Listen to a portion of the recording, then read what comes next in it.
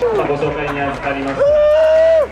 大山健です。自分は、えー、大山健東京の下北沢でバーテンダーをやっていて、えー、今年のジェムソンバーテンダーズボールジャパンコンペティションで優勝して、えー、アイルランドで世界大会に行きました。で最初にお伝えしたいことがえー、アイルランドで乾杯はスローンチャーって言います。アイルランドで乾杯はスローンジャー。と言います今日はみんな楽しんでますか？えー、ジェムソンのこの美味しいウイスキー、えー、飲んだら楽しくなれる。みんなと乾杯できる。この時間共有して。